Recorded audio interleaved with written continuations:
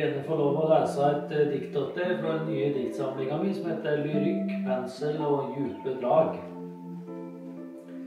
Du ror, lån meg ditt smil og dine hender. Du står og venter på meg som bestilt. Årene tar din kraft og gir oss retning. Midtveis bader vi